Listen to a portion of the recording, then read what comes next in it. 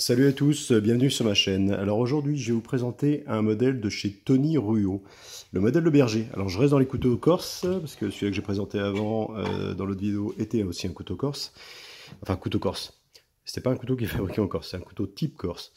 Euh, on est dans le modèle berger. Euh, donc il y avait longtemps que je voyais des parutions de Tony Ruot. Euh, j'aimais bien ce qu'il faisait et j'ai réussi à en avoir un qu'il avait fait. Alors, il prend pas de commande au jour d'aujourd'hui, tout est fait à rapport, enfin il fabrique et puis après il met en vente. Euh, donc pour présenter ce couteau, on est en acier en carbone en XC100. Euh, donc c'est un acier qui est beaucoup utilisé dans le métier de la coutellerie, enfin dans la forge. c'est un acier qui monte, qui a un taux de carbone de 1%. Donc c'est un taux de carbone assez élevé. Et on a euh, une trempe sélective qui est faite dessus. Sais pas si. Alors, il y a deux possibles de trempes sur ces couteaux-là. C'est soit une trempe à l'eau, soit l'huile. C'est beaucoup l'huile qui est utilisée au jour d'aujourd'hui. Mais il y a la possibilité des deux types de trempes. Euh, donc, trempe sélective, on voit la débarcation. Je m'en suis pas encore servi, je l'ai en poche depuis hier. J'ai pas pu euh, m'empêcher, j'ai pas pu attendre. Et du coup, avec ce type de lame, alors on monte dans une dureté qui est très élevée, hein, parce que sur ces aciers euh, XC100, on monte jusqu'à 63 HRC. Quand la trempe est bien faite, ben, on monte quand même assez haut. Donc ce qui en fait une lame euh, avec un taux de dureté assez élevé, quoi, enfin très élevé même. Euh, on est sur un brut de trempe, comme il explique dans sa fiche. Alors il a bien fait les choses, j'aime bien ces petites fiches explicatives, donc du coup il a expliqué, je vous cache même pas le prix, hein, le, berger, le système de blocage c'est le Tony Lock, donc c'est un système qu'il a développé, je vais vous le présenter, et puis l'acier euh, XC100, et puis euh, les plaquettes que je vous ai expliquées qui sont en, bélier avec dérivé laiton, et une rosace laiton, qui fait lui-même. Euh, donc il fait une petite fiche d'identité de ses produits, ça c'est, voilà, j'en parle souvent dans mes vidéos, mais c'est vachement bien parce qu'au moins ça permet de retrouver les éléments. Il a une petite carte après, voilà, avec ses coordonnées. Alors le principe de ce couteau-là, c'est assez particulier. Euh, vous avez un système, ce qu'il appelle lui Lock, parce qu'il a inventé ce système-là. C'est un système de poussoir latéral. En fait, il a un rivet qui est traversant. Et euh, il a fait cette pièce sur le côté pour pouvoir faire basculer cette, cette espèce d'épingle, en fait, un peu en corde de piano, en fait, qui passe dans cette tôle pliée. Alors c'est assez particulier comme montage. Je sais pas si on verra, en fait, il a mis un système de double rivet. La tige passe derrière la, partie... Derrière cette partie tôle pliée. Et il a calé après, euh, il y a un petit retour qui est fait entre ces deux rivets pour maintenir le ressort en fait. Donc c'est un ressort en fait, euh, c'est un peu le principe si vous connaissez les faroles, le, système farol est un peu monté un peu dans ce principe-là. Enfin, c'est pareil, une bague comme ça qui passe, euh, qui bloque au-dessus de la lame en fait. Il y a une encoche qui est faite pour bloquer le, système. Donc le système il est le suivant, on vient basculer pour faire relever la, la pièce, ça libère la lame et ça fonctionne très bien. Et ça se claque très bien surtout, j'adore le bruit. Euh, je connaissais pas du tout ce système-là. Enfin, il est le seul, hein, c'est lui qui l'a développé. Euh, chacun a des systèmes plus ou moins différents. Alors, ce qui est particulier sur ce couteau-là, donc voilà, on est sur une tôle pliée. Vous voyez le système. Il a même passé une pièce dedans, un peu comme pour, passer un lacet, mais qui est travaillé aussi. On dirait un peu une, euh, comme une pièce écrasée un petit peu, qui est légèrement cintrée, arrondie, qui est travaillée. Il travaille beaucoup le laiton. donc tôle pliée. Il a fait un guillochage qui est plutôt joli, qui est esthétique, qui est simple mais esthétique. Je pense qu'il fait ça avec une genre de Dremel un petit peu. Donc on voit que c'est fait à la main. Hein. Quand on regarde à la loupe, on voit les, détails. Hein. Mais c'est euh, de manière générale, voilà, c'est bien uniformisé, c'est joli. Euh, il y a beaucoup de boulot hein, sur ce couteau. Mine de rien, euh, vous avez vu le prix tout à l'heure, 250 euros, mais il y a un boulot de malade dessus. il a fait un système, alors ça c'est propre à ce qu'il fait lui, c'est-à-dire qu'il a un manche qui est un petit peu plus les plaquettes sont toujours plus courtes, ça fait un semblant de mitre avant, entre guillemets, qui vient après euh, euh, habiller, enfin je pense qu'il passe ça à la Dremel, en fait, il y a un motif qui est fait en surface euh, pour donner un peu de fantaisie, voilà, qui est fait avec un outil après, je pense que c'est fait à la Dremel. Vous voyez, la rosette c'est pareil, j'ai vu de ses parutions, c'est lui qui les fait lui-même, il vient travailler ses rosettes lui-même, bon bah, voilà, c'est joli, hein, c'est vraiment, c'est beaucoup de détails. Hein. Cette petite pièce qui a été rajoutée, c'est pareil, en fait, elle est traversante, on voit un peu le détail par derrière, en fait. Euh, donc c'est pareil, c'est lui qui les fait. Il y a un boulot de malade là-dessus. Hein. Euh, tailler les plaquettes, ou enfin c'est wow, c'est super bien fait. Hein. C'est très joli. Hein. Donc la tôle pliée sur une partie découpée. Euh, après autour de la fausse mythe entre guillemets. Après il vient casser les arêtes. donc son logo qui a été mis sur le ricasso. Bon, contrairement à ce que j'aime pas trop, effectivement, ça bouffe un peu de lame, mais là, sur ce couteau-là, je trouve pas ça gênant. Donc on est sur une émouture partielle, Ce que j'aime beaucoup, c'est ce petit onglier là fait avec un rivet. Ça, je trouve ça. Bon, ça, j'adore. Je comprends pas qu'il n'y en ait pas d'autres qui reprennent ça. Je trouve ça vraiment. Je trouve ça top. Ça fait. Euh, c'est une petite fantaisie, hein, mais par contre, ça marche très bien hein, parce qu'avec l'ongle, on le chope très bien. Donc, euh, et ça, claque bien. Bon, ils sont superbes ces couteaux. Hein. C'est vraiment un très beau produit. Plaquette, donc c'est du bélier. Euh, qui a un petit peu de marque dessus. Enfin voilà, c'est ce qui fait le charme du produit. On a en surface un petit peu de croûte de bélier, un petit peu. Donc c'est pas c'est juste en surface. Hein. C'est pas c'est pas l'intérieur de la plaquette. La plaquette n'est pas fondue. Hein. C'est juste en, surface de plaquette. Donc il n'y a pas un produit qui est pareil. Hein. Chaque produit est différent. Alors celui-ci assez compact. Je suis sur un modèle qui fait 173 euh, mm longueur ouverte. Donc c'est un petit modèle.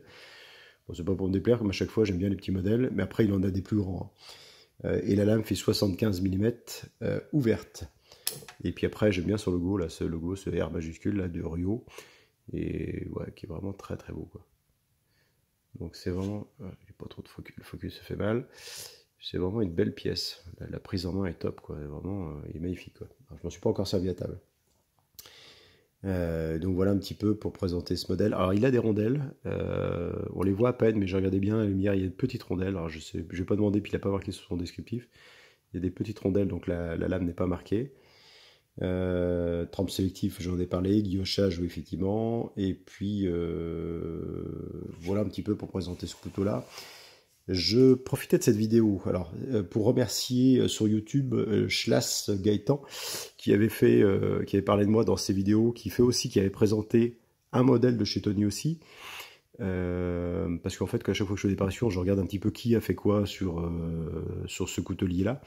Et je suis retrouvé, je suis effectivement, je suis tombé sur son site internet qui présentait effectivement un autre modèle de chez lui en fait. Hein. Donc c'est comme ça que j'ai vu ses parutions et j'ai regardé un peu ses parutions. Donc je remercie Gaëtan euh, Thibault, effectivement, euh, qui a parlé de moi sur YouTube et puis des différentes euh, chaînes avec qui qu'il aimait bien regarder. Donc voilà, ben, ça m'a permis de le connaître aussi un petit peu. Et puis j'ai regardé aussi ses chaînes. Donc voilà, je vous invite à aller le voir aussi. Il présente un autre modèle de chez Tony. Donc voilà, je voulais le remercier. et je voulais aussi remercier les gens qui regardent ma chaîne parce que ben, ça fait quand même un petit moment que je présente des couteaux. Alors je les présente pas tous.